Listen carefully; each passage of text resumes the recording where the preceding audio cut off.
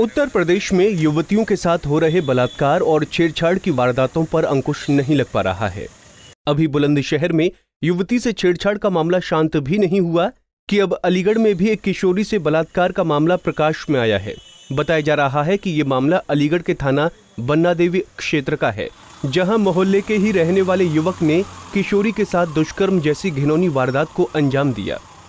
दरअसल, अलीगढ़ के थाना बन्ना देवी इलाके के डूडा कॉलोनी के रहने वाले एक मध्यवर्गीय परिवार दोनों पैरों से विकलांग पत्नी के साथ चाय की दुकान चलाकर गुजर बसर कर रहा था। घटना उस वक्त की है जब दोनों पति पत्नी चाय की दुकान पर मौजूद थे।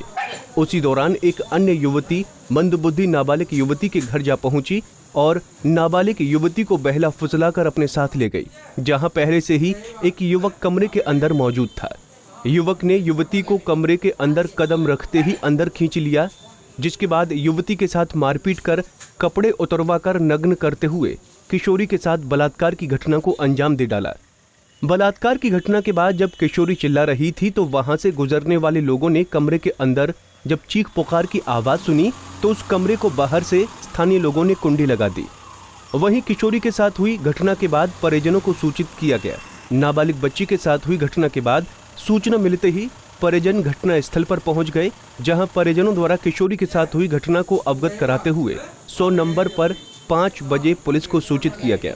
घटना के एक घंटे बाद इलाका पुलिस भारी फोर्स बल के साथ घटना स्थल पर पहुँच गई, जहाँ मौके पर पहुँची पुलिस ने आरोपी युवक को पकड़कर सारसोल चौकी ले जाया गया, जिसके बाद आरोपी युवक को थाना बन्ना देवी ले जाया गया। वहीं अब आरोपी युवक के खिलाफ परिजनों द्वारा तहरीर लेकर मुकदमा दर्ज किया जा रहा है।